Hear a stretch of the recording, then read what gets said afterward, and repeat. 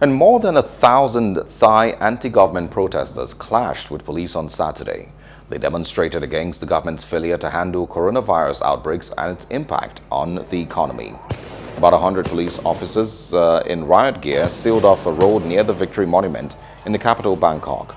They had containers uh, and used water cannons, tear gas and rubber bullets to stop a march uh, towards Government House, the office of Prime Minister Prayut Chan-o-cha. Tear gas and rubber bullets were used to crowd control, and the demonstrators threw ping pong bombs, stones, and marbles. More than a thousand anti government protesters clashed with police in Bangkok on Saturday as they demonstrated against what they said was the government's failure to handle coronavirus outbreaks and its impact on the economy. About 100 police officers in riot gear sealed off a road near Victory Monument in the capital and used water cannon, tear gas, and rubber bullets to stop a march towards Government House, the office of Prime Minister Prayut Chan Ocha. Police say the protesters were violent. People aren't getting vaccines yet.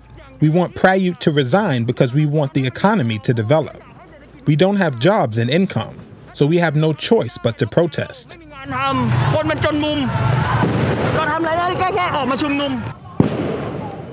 Dozens of protesters were seen being carried away on motorcycles and in ambulances. The Erawan Emergency Medical Centre said at least two civilians and three officers had been injured. Roughly 6% of Thailand's population of more than 66 million people has been fully vaccinated. Gatherings of more than five people are currently banned, and most of the country, including Bangkok, is under lockdown with a nighttime curfew.